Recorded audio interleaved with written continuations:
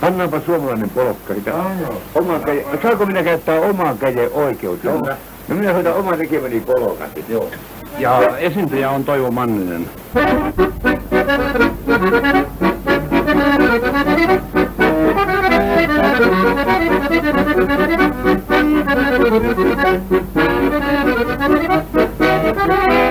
Thank you.